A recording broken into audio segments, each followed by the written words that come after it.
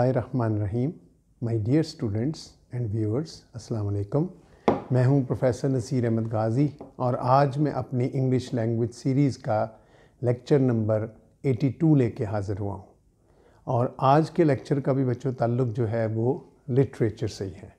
पिछले कुछ लेक्चर से हम जो स्टडी कर रहे हैं, वो लिटरेचर की कर रहे हैं और लिटरेचर से रिलेटेड मुख्तलिफ़ चीज़ों की कर रहे हैं। तो आज का जो टॉपिक मैंने सिलेक्ट किया है, उसका नाम है लिटरेचर एंड सोसाइटी, के लिटरेचर का सोसाइटी से क्या ताल्लुक़ है? आपको याद होगा, पिछले वीक में जो मैंने लेक्चर डिलीवर किया था, वो था लिटरेचर एंड लाइफ, कि लिटरेचर का लाइफ के साथ क्या रिलेशन है? तो आज का लेक्चर होगा कि लिटरेचर का सोसाइटी के साथ क्या ताल्लुक़ है। तो इससे पहले कि मैं लेक्चर स्टार्ट करूँ, वो तमाम स्टूडेंट्स जिन्होंने अभी तक इस चैनल को सब्सक्राइब नहीं किया, उनसे मेरी रिक्वेस्ट है कि वो चैनल को सब्सक्राइब करें, बेल आइकॉन को क्लिक करें ताकि मेरी हर आने वाली वीडियो आप तक पहुँच सके। प्लस बच्चों, इस पर हर मेरी वीडियो पे अपने कमेंट्स और अपने लाइक्स दिया करें। कमेंट्स इसलिए कि आपके कमेंट्स हमारे लिए एक इनक्रेजमेंट का बायस बनते हैं। हमें ये फीलिंग आती है कि जो हम काम कर रहे हैं, वो सेटिस्फैक्ट्री काम है। हमारे जो ऑडियंस हैं, वो उसको लाइक कर रहे हैं। मैंने जैसे बार बार ये बात कही है कि मेरे तो ज़्यादातर ऑडियंस हैं, वो टीचर्स हैं। जो टीचर्स मुख्तलिफ़ स्कूलों में, कॉलेजों में यूनिवर्सिटीज़ में पढ़ा रहे हैं, वो मेरे स्टूडेंट्स हैं, वो मेरे व्यूअर्स हैं ज़्यादातर, ठीक? तो चलिए हम स्टार्ट करते हैं कि लिटरेचर और सोसाइटी का आपस में कैसा ताल्लुक है। तो बच्चों, सबसे पहले हम देखते हैं कि सोसाइटी हम किसको कहते हैं, ठीक है? सोसाइटी बेसिकली होती है a group of people living in a particular area एक ख़ास इलाके में रहने वाले लोग having a particular custom particular culture particular tradition. खास having a specific language, you can say, you can say a lifestyle, you can say उनकी dressing उनका कल्चर सब कुछ। मिसाल के तौर पे, अगर हम पाकिस्तान में किसी शहर में रह रहे हैं तो हम इसको पाकिस्तानी कल्चर कहेंगे। अब अगर हम देखें तो हमारा जो कल्चर है, वो उस पर रिलीजन का जो है, वो एक इन्फ्लुएंस है। अब अगर हम इसको कंपेयर करना चाहें यूरोपियन कल्चर के साथ या अमेरिकन कल्चर के साथ तो बिल्कुल डिफरेंट है। वो अलग सोसाइटीज़ हैं ये अलग सोसाइटी है। सो so, हमने ये देखना है कि हर सोसाइटी के कुछ गुड पॉइंट्स हैं हर सोसाइटी के कुछ ड्रॉबैक्स हैं। यानी कुछ प्रॉब्लम्स हैं हर सोसाइटी की। वो जो मसाइल हैं वो जो ड्रॉबैक्स हैं उन ड्रॉबैक्स को एक राइटर कैसे परसीव करता है उन प्रॉब्लम्स को कैसे परसीव करता है और फिर अपने ऑडियंस के साथ कैसे शेयर करता है। ठीक? तो पहले हर लेक्चर की तरह मैंने कुछ पॉइंट्स बनाए हुए हैं। मैं उनको वन बाय वन आपके साथ डिस्कस करूँगा। ठीक? तो हम स्टार्ट करते हैं पहला पॉइंट के लिटरेचर का सोसाइटी के साथ क्या ताल्लुक है? What is the relation between literature and society तो कहता है number one is literature is closely related to society कहता है लिटरेचर जो है इसका सोसाइटी से बड़ा गहरा ताल्लुक है। वो कैसे? As it is directly associated with its culture and tradition तो कहता है इसकी एसोसिएशन जो है it is directly associated with its culture and tradition क्योंकि कोई भी लिटरेचर जो होगा, पाकिस्तानी लिटरेचर है अमेरिकन लिटरेचर है ब्रिटिश लिटरेचर है फ्रेंच लिटरेचर है, वो अपने कल्चर और ट्रेडिशन के साथ डायरेक्टली एसोसिएटेड होगा। यही वजह है कि हमारे लिखे हुए ड्रामे हमारे लिखे हुए नावल उसमें हमें अपने कल्चर की नज़र आती है। आपने बसकर हम इंग्लिश लिटरेचर जब पढ़ते हैं, ज़्यादातर स्टूडेंट्स जब इंग्लिश लिटरेचर पढ़ते हैं तो actually they are not just studying English literature as far as the human beings are concern as far as the nature is concern वो तो सबकी एक जैसी होती है ऑलमोस्ट लेकिन when you study the society there is a hell of difference जो American society है, या जो यूरोपियन सोसाइटी है, या जो ब्रिटिश सोसाइटी है it is totally different from our society लेकिन जब हम एक लिटरेचर में उसका ज़िक्र पढ़ते हैं। मसलन हम टॉमस हार्डी का को ड्रामा, नावल पढ़ते हैं या हम शेक्सपियर का ड्रामा पढ़ते हैं या हम किसी भी पोइट की, जॉन डन की पोइट्री पढ़ते हैं तो हम बेसिकली उसके साथ साथ उस कल्चर को भी पढ़ रहे हैं, उस सोसाइटी को भी पढ़ रहे हैं, जिस सोसाइटी को वो बिलोंग करता है। तो सबसे पहली चीज़ हो गई कि लिटरेचर का सोसाइटी से बहुत गहरा ताल्लुक है, क्योंकि हर लिटरेचर जो है वो एसोसिएटेड है। उसके कल्चर के साथ, उसके ट्रेडिशन के साथ। तो when it is associated with it it means it depends on it it means it has to highlight it इसका मतलब ये हुआ कि हर राइटर ने अपने माशरे को स्टडी करना है। उसका जो, उसका सबसे बड़ा ऑडियंस वो खुद है। और उसको वो देखता है, उसी हाइपोथेसिस के ज़रिए देखता है, यानी ऑब्ज़र्व करता है एनालाइज करता है, और फिर हमारे साथ शेयर करता है। और वो जो शेयर करता है that becomes his experience so every society has जैसे मैंने पहले कहा हैज़ इट्स प्रॉब्लम्स तो जो बंदा एक सोसाइटी को डील करेगा, एक सोसाइटी को एक करेगा तो वो उसके मसाइल को डील करेगा. So when a writer whether is a poet whether is a dramatist whether is a novelist whether is an essayist जो भी है, when he is writing literature, he is ex, actually exposing a particular society. And society is directly associated with tradition and history as well. एक खास society के जब हम पढ़ रहे होते हैं तो हम एक आदि को ना मिसल मैं एटीन सेंचुरी का नावल पढ़ूँगा तो मैं एटीन सेंचुरी की सोसाइटी को पढ़ रहा हूँ, उसके कल्चर को पढ़ रहा हूँ, उसके ट्रेडिशन को पढ़ रहा हूँ इनडायरेक्टली उसकी हिस्ट्री को पढ़ रहा हूँ। So history automatically becomes a part of it ये था बच्चों पॉइंट नंबर वन फिर हम आ जाते हैं पॉइंट नंबर टू पे। पॉइंट नंबर टू कहता है द पोएट कोई भी पोएट हो द ड्रामेटिस्ट कोई भी ड्रामा निगार हो द नॉवलिस्ट कोई भी नॉवल निगार हो, और द एसेस्ट यहाँ को ऐसे लिखने वाला इसका मतलब इन चारों में से कोई भी हो पोइट हो ड्रामेटिस्ट हो नॉवलिस्ट हो एसेस्ट हो, कहता है, क्या है? Are all the product of their age कहता है, सब लोग अपने दौर का एक प्रोडक्ट होते एक्सपोनेंट होते एक्सपोनेंट कौन होता है जो एक्सपोज करता है? अपने माशरे के वो क्या होते हैं? प्रोडक्ट होते हैं, उसमें से वो निकलते हैं। Age and their age openly and clearly gets imaged in their composition कहता है, वही जो उनकी एज है, वो उनकी कंपोजिशन में इमेज्ड होती है। इमेज को एज ए वर्ब मैंने यूज़ किया है।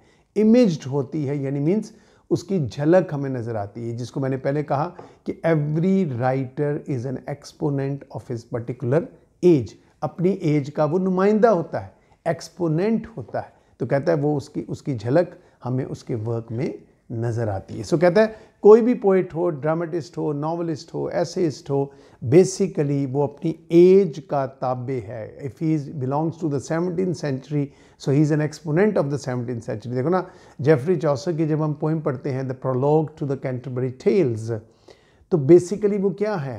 इट इज़ अ सोशल हम कहते हैं इट्स अ सोशल क्रॉनिकल यानी chronicle means history social means society तो सोशल क्रॉनिकल है क्योंकि उसने अपने दौर का जो सोसाइटी है, उसका लाइफ स्टाइल उसका कल्चर उसके ट्रेडिशन सो हम जब उस पोइम को पढ़ते हैं द प्रोलॉग को तो उसमें हमें क्या मिलते हैं? हमें मिलते हैं डिफरेंट करेक्टर्स और उन करेक्टर्स से हमें पता चलता है कि फोर्टीन सेंचुरी मिडल एजेस का पीरियड इंग्लैंड में कैसा था? लाइफ स्टाइल क्या थे? प्रोफेशंस क्या थे? लोग कैसे रहते थे? लोगों के ट्रेंड्स क्या थे? लोगों की लाइकिंग्स क्या थी? डिसलाइकिंग्स क्या थी? प्रायोरिटीज़ क्या थी? What were their life style how did they live even अगर हम उस ज़माने की लैंग्वेज को देखें जो इंग्लिश थी वो भी डिफरेंट है from the modern English so all we come to know when we study that particular poem and that particular poem is a social chronicle. It's a social story. It's, a, about the society to which it belongs देखो literature ने कितना करीबी से उसको जो है वो, और कितना माइन्यूटली उसको क्या किया ऑब्ज़र्व किया है। लिटरेचर ने किया है, यानी राइटर ने किया है, ठीक? उसके बाद आ जाते बच्चों।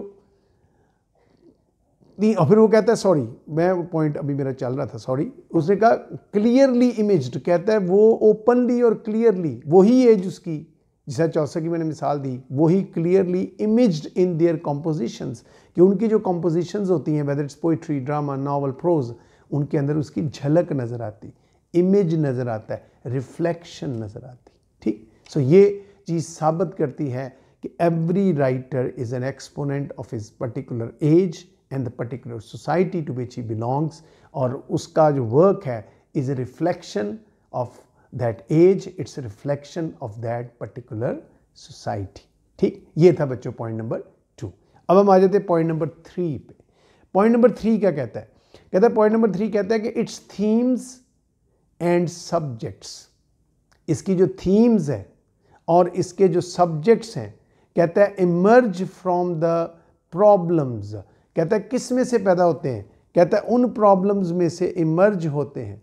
Emerge from the problems related with the society to which it belongs कहता है द थीम्स इसके जो मरकज़ी ख्याल हैं, इसके सब्जेक्ट्स यानी टॉपिक्स जिस मौजू पर वो लिख रहा है, वो क्या सजेस्ट करता है? इमर्जेस उबरता है, निकलता है from the problems related with the society कहता है, उस माशरे के मसाइल में से सब कुछ निकलता है इमर्ज होता है उसमें.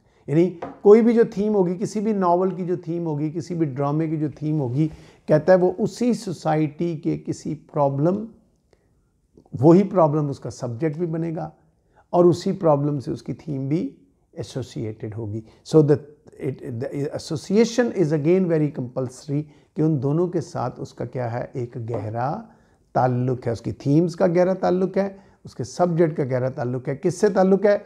उन प्रॉब्लम से, उन इश्यूज़ से बच्चों, जिनका ताल्लुक उस एज से है, जिसको और उस सोसाइटी से है टू विच इट बिलोंग्स जिसका, जिसको वो प्रेजेंट कर रहा है, जिसका वो रिप्रेजेंटर है, उसके साथ उसका ताल्लुक है।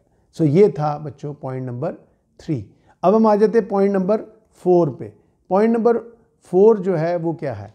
कहता है इट बेसिकली शोज़ अस यानी लिटरेचर जो है हमें क्या शो करता है? The different facets of society माशरे के मुख्तलिफ़ चेहरे हमें दिखाएगा अच्छे भी होंगे और बुरे भी होंगे it shows us the different facets of society helping us to understand और हमारी मदद करता है किसको अंडरस्टैंड करने में understand man and his problems कि इंसान क्या है उस सोसाइटी के पर्टिकुलरली और जनरली पूरी वर्ल्ड के एंड देयर प्रॉब्लम्स और उनके मिसाइल क्या हैं देखो ना कुछ मसाइल ऐसे होंगे जो दुनिया में कहीं भी होंगे, वो हम सब के होंगे। मतलब मिसाल के तौर पे अगर हम एक यूथ के मसाइल ले लेते हैं, पाकिस्तानी यूथ के मसाइल को अगर हम कंपेयर करें, अमेरिकन यूथ के साथ या ब्रिटिश यूथ के साथ तो हम ये नहीं कह सकते उनके मसाइल और उनके मसाइल एक जैसे हैं। बिल्कुल नहीं है।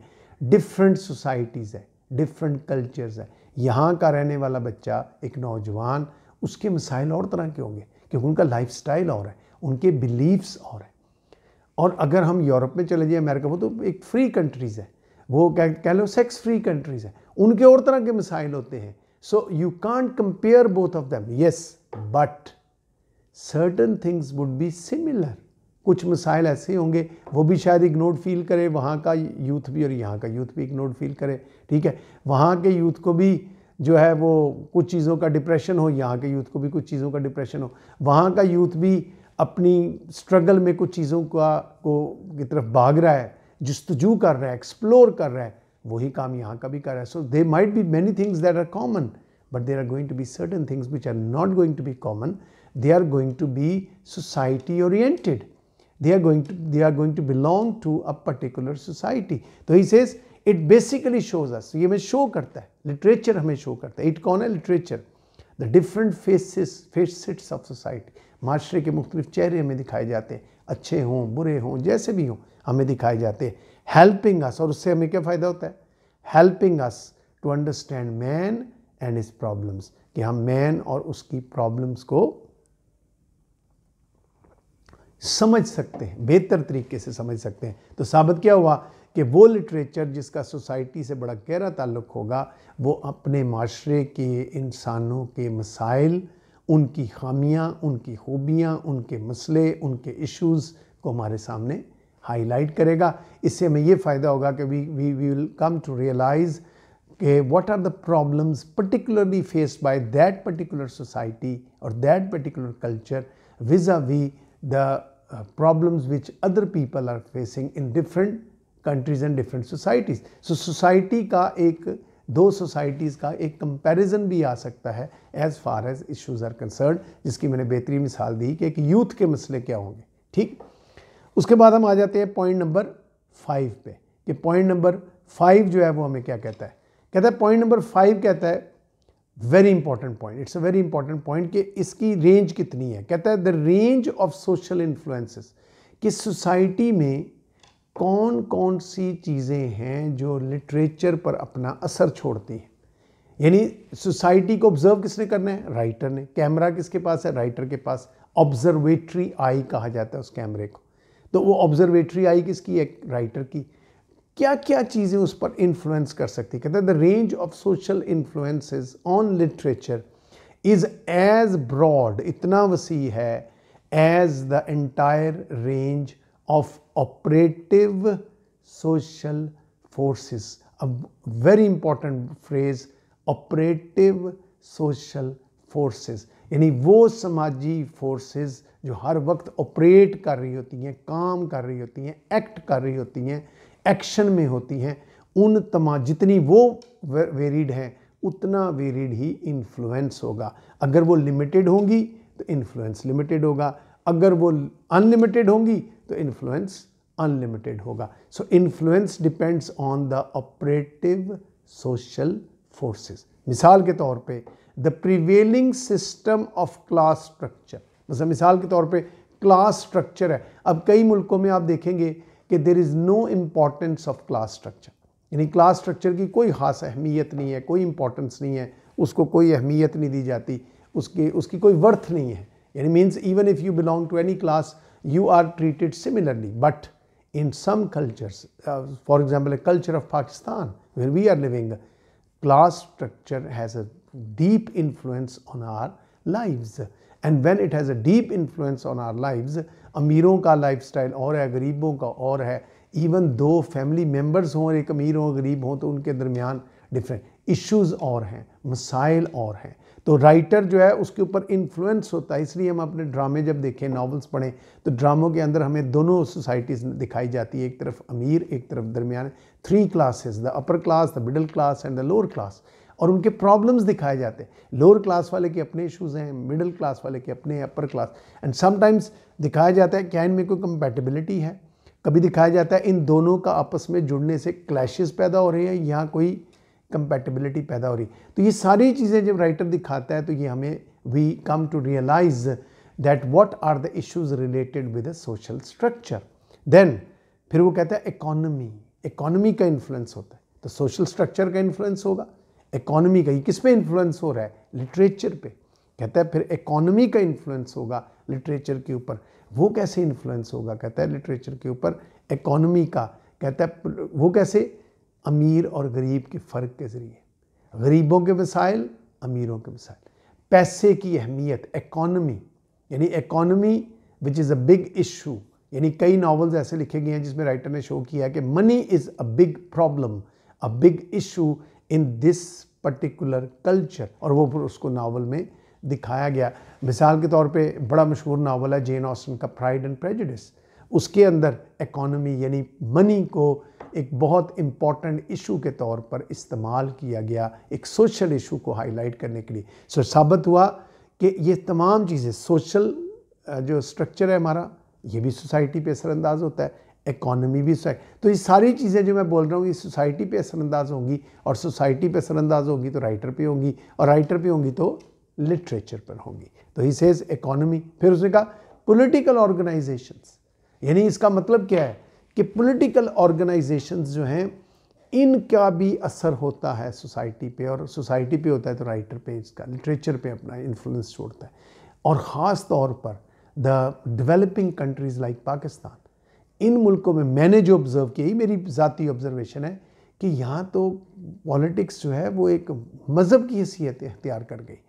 हम वी हमारे अंदर जो टॉलरेंस है, वो ना होने के बराबर रह गई।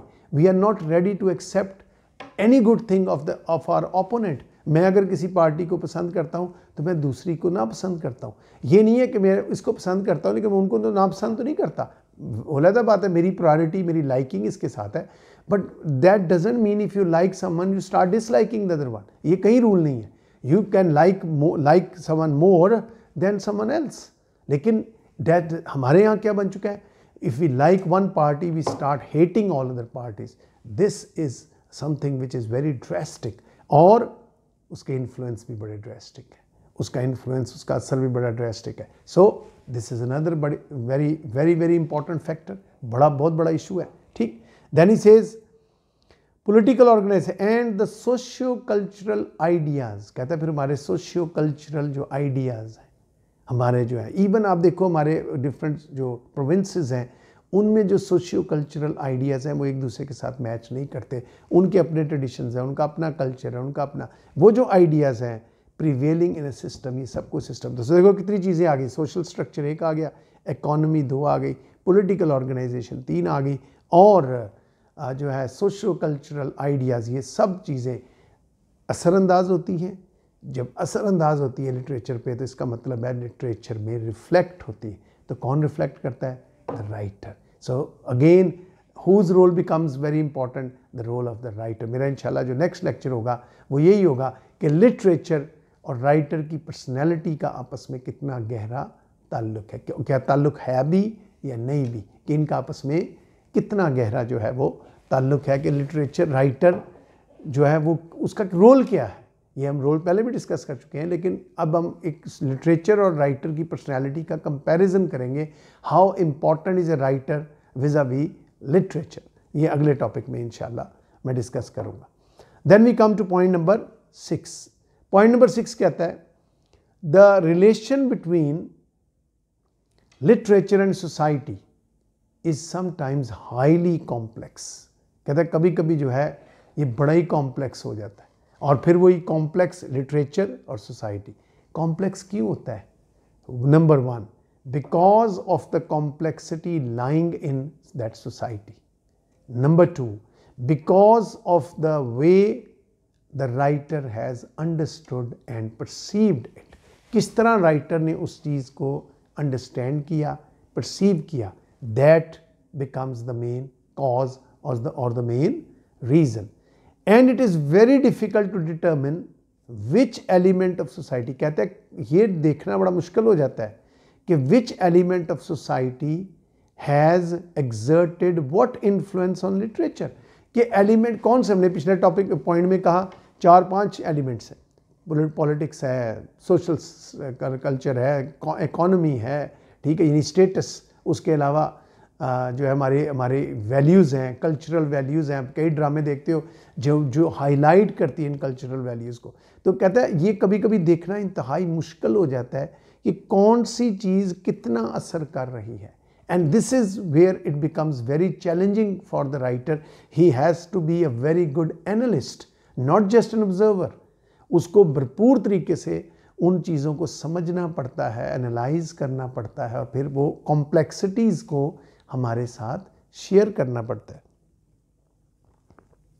कभी कभी ऐसी चीज़ें राइटर जो हैं, वो दिखाते हैं मास्टरे की, जो हम लोग वो देखते हैं ज़्यादातर जो जनरली होता है।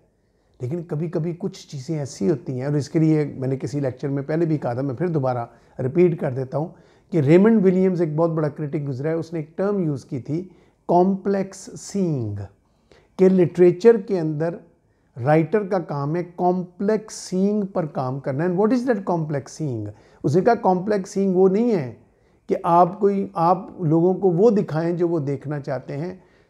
लोगों को वो दिखाओ जो या तो वो देखना नहीं चाहते, या वो उसके बारे में जानते ही नहीं हैं। अगर वो देखना नहीं चाहते, तब भी वो कॉम्प्लेक्सिटी है क्यों नहीं देखना चाहते? या उनको उसका इलम ही नहीं है। तो माशरे के वो मसाइल, माशरे की वो चीज़ें जो अजीब सी हों, ठीक है, जो बड़ी हमें हैरान कर दें, क्या ऐसे भी हो सकता है? क्या अब देखो ना, यूरोपियन माशरे में एक एक सुतेली माँ का अपने सुतेले बेटे के साथ रिलेशन हो सकता है। अब ये हमारे माशरे में हम नहीं सोच सकते कि ऐसा हो सकता है। ये अगर यहाँ दिखाया जाएगा तो it would be a complexing कि ऐसा यहाँ भी हो सकता है और हो सकता है, किसी भी माशरे में हो सकता है। ये मीन्स यहाँ जो है वो step brothers and step sisters का आपस में रिलेशन हो जाए। Which is very rare in our country we can't even believe कि ऐसा हो सकता है, लेकिन हो सकता है। So all these things they are the complexities that lie in literature तो कहता है the relation between literature and society is sometimes कभी कभी वैसे तो बड़ा क्लियर है, लेकिन समटाइम्स हाईली कॉम्प्लेक्स बहुत कॉम्प्लेक्स होता है। And it is very difficult to determine ये डिटर्मिन करना मुश्किल हो जाता है विच एलिमेंट यानी कौन सा माशरे का ऐसा एलिमेंट है of society has exerted what influence on literature literature पर उसने क्या असर किया है? कितना असर किया है? ठीक? ये हो गया सर बच्चों पॉइंट नंबर सिक्स अब हम आ जाते हैं पॉइंट नंबर सेवन पे.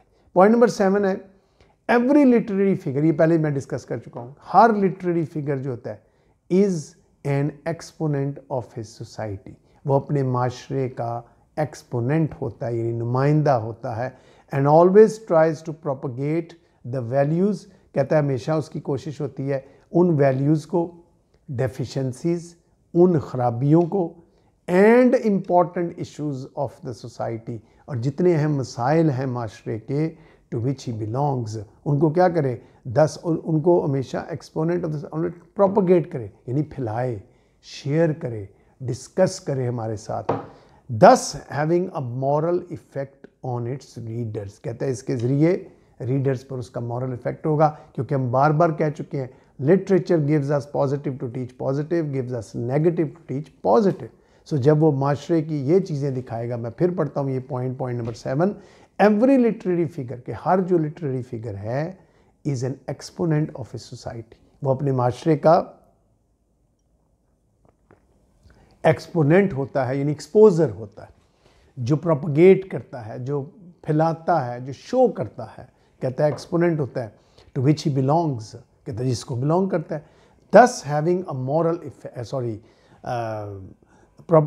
and always tries to propagate the values और हमेशा कोशिश करता है उनकी वैल्यूज़ को जो भी हैं अच्छी हैं बुरी हैं उन वैल्यूज़ को प्रोपगेट करता है। फिर डेफिशेंसीज जो उनके अंदर कमज़ोरियाँ हैं और कमज़ोरियाँ क्यों दिखाई जाती हैं? ताकि लोग कमज़ोर हो जाएँ? नो no, ताकि लोग उन कमज़ोरियों से दूर रहें ताकि उनको रद्द कर दें शन कर दें।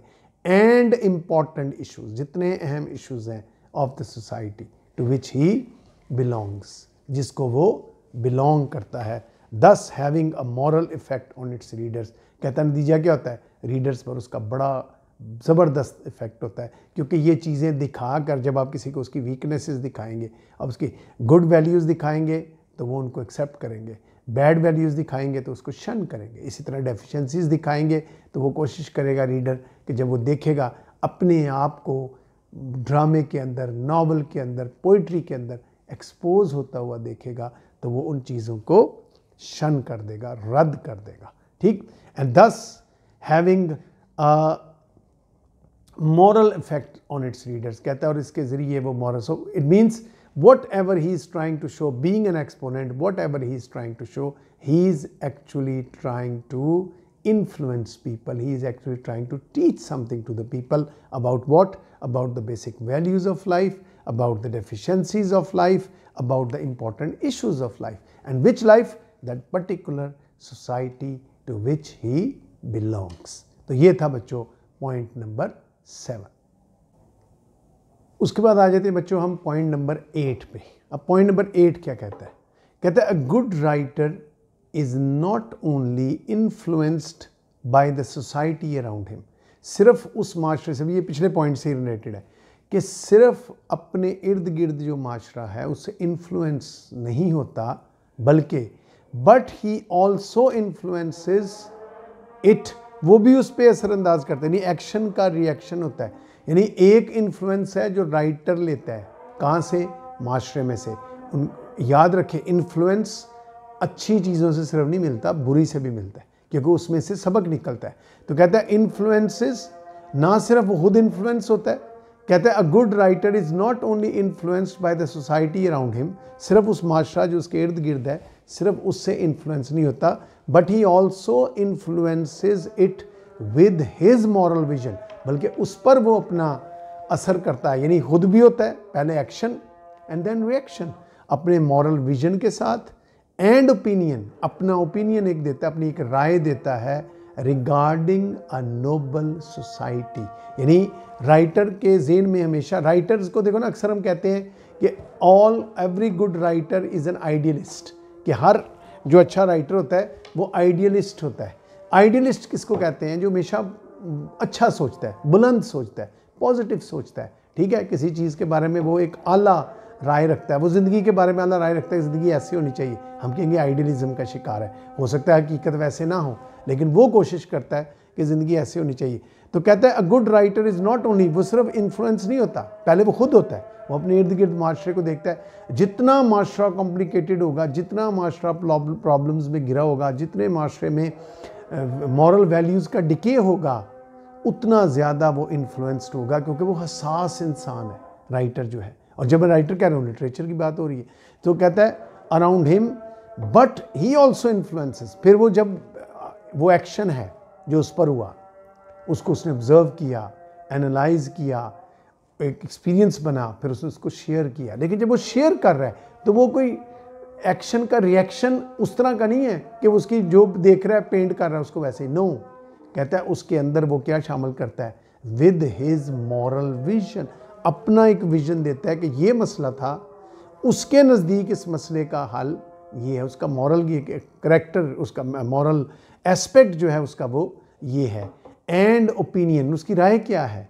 रिगार्डिंग अ नोबल सोसाइटी कि वो क्या समझता है कि एक अच्छा माशरा कैसे जन्म लेगा? कैसे वो आएगा एक अच्छा माशरा? सो so, इसका मतलब क्या है कि राइट लिटरेचर का इन्फ्लुएंस कितना ज़बरदस्त है कितना पॉजिटिव है रिगार्डिंग इट्स पर्टिकुलर सोसाइटी वो सोसाइटी पर असर इसीलिए असरअंदाज होता है इसीलिए जब हम टीवी पर ड्रामे देखते हैं हम पर उनका असर होता है। हम बहुत सी चीज़ें लर्न करते हैं बहुत सी अपनी वीकनेसेस को ओवरकम करते हैं जब हम उसको टीवी पर देखते हैं। ठीक? उसके बाद आगे हम पॉइंट नंबर नाइन पे पॉइंट नंबर नाइन है। The writer is the one who not only exposes the vices of people कहते हैं राइटर वो है जो सिर्फ़ लोगों की बुराइयाँ नहीं एक्सपोज करता ऑफ़ पीपल बिफोर दैम उनके सामने आईना दिखाता है ना, और उनकी बुराइयाँ ज़्यादा दिखाता है कि ये तुम्हारे अंदर वीकनेसेस हैं, ये तुम्हारे अंदर बुराइयाँ जिसका असर डायरेक्टली माशरे पे हो रहा है। हमारे बुराइयाँ माशरे को इफ़ेक्ट करती हैं। तो he says but also helps them to be influenced by it बल्कि वो दिखाता है उनको बुराइयाँ और चाहती है पिछला, फिर पिछले पॉइंट से रिलेटेड बात आ गई कि वो उनको बुराई दिखाता है, इसलिए नहीं दिखाता कि वो बुरे हो जाएँ, वो बुराई इसलिए दिखाता है कि वो उससे इन्फ्लुएंस हो। Literature gives us negative to teach positive और वो इन्फ्लुएंस हो by it and mould them फिर उनको मोल्ड करता है according to the writer's point of view फिर वही जो उसका विजन है, जो उसका पॉइंट ऑफ़ व्यू है ये दोनों पॉइंट्स आपस में रिलेटेड पॉइंट थे कि वो उस पॉइंट ऑफ़ व्यू से उसको फिर कायल करने की कोशिश करता है माशरे को रीडर को। सो so, याद रखो इसका मतलब है रीडर एक ख़ास सोशल सेटअप में रहने वाला लीडर डायरेक्टली इन्फ्लुएंस्ड होता है। किससे? लिटरेचर से। क्यों होता है? क्योंकि राइटर उसको में मेन रोल प्ले कर रहा होता है जो वो इन्फ्लुएंस उस पर एग्जर्ट कर रहा होता है। और हम उस इन्फ्लुएंस में जब आएँगे तो नेचुरली हम पर उसका इफ़ेक्ट होगा। हम बहुत सी अपनी वीकनेसेस को वाइसेस को हमारी ओवरकम कर लेंगे, बल्कि उनको कन्वर्ट कर देंगे इनटू वर्चुअस ठीक? उसके बाद बच्चों last point but not the least it's last point related ये चंद पॉइंट्स में लिखता हूँ, बातें तो इतनी लंबी होती हैं कि इनके ऊपर तो घंटों बातें करते रहे तो ख़त्म नहीं होती, लेकिन मैं स्पेसिफिक चंद बातें जो मैं समझता हूँ कि इतनी तो कम अज़ कम ज़रूर मिनिमम इतनी डिस्कस होनी चाहिए, वो मैं सेलेक्ट करता हूँ। तो पॉइंट नंबर टेन ये है it can be said that almost ये इसको समझिए कंक्लूजन है हमारी डिस्कशन का, कि it can be said that almost every piece of art poetry whether it's drama whether it's novel whether it's prose कुछ भी है आर्ट क्या है? रिलेटेड विद सोसाइटी जो किसी ख़ास माशरे से जिसका ताल्लुक हो वो क्या कहलाएगा? कहता है इज़ अ सोशल डॉक्यूमेंट हम कहेंगे ये क्या है? ये एक सोशल डॉक्यूमेंट है. सो so, किसी भी माशरे पे लिखे जाने वाली आर्ट का नमूना चाहे वो पोइट्री की शक्ल में हो चाहे वो ड्रामे की शक्ल में हो चाहे वो नावल की शक्ल में हो चाहे वो शॉर्ट स्टोरी हो चाहे ऐसे हो आर्टिकल हो कहता है वो बेसिकली क्या है? वो एक सोशल डॉक्यूमेंट है थ्रू विच अ राइटर उसके ज़रिए writer tries to exhibit his philosophy जिसके ज़रिए राइटर जो है अपनी फ़िलासफ़ी को एग्जिबिट करता है प्रेजेंट करता है यानी अपने नज़रिए को अपनी सोच को वो रिप्रेजेंट करता है रिगार्डिंग द सोशल मोरालिटी जिसका ताल्लुक है सोशल मोरालिटी यानी एक माशरे की मोरालिटी क्या होनी चाहिए?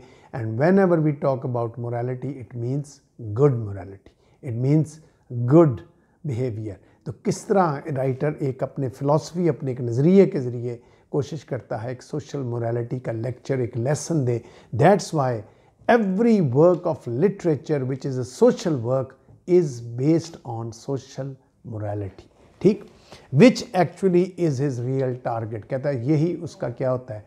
असल टारगेट होता है। यानी उसका मकसद लिखने का क्या होता है? कि मैं अपने माशरे की इखलाकी तौर पर असलाह करूँ, उनके अंदर वो मॉरल वैल्यूज़ इनकलकेट करूँ, जिनकी उनको ज़रूरत है। लेकिन उसको करने के लिए he has to show all sides of life all sides of a particular society and then ये तो हो गया एक ख़ास सोसाइटी लेकिन जब वो किसी अपने एलियन सोसाइटी किसी दूसरे मुल्क की बात करता है तो फिर वहाँ की वो कल्चर एक बंदा जो फ़र्ज़ करें अमेरिकन जो है वो कल्चर के बारे में लिख रहा होगा तो अमेरिकन कल्चर के मसाइल हमारे साथ कंपेयर नहीं कर सकता।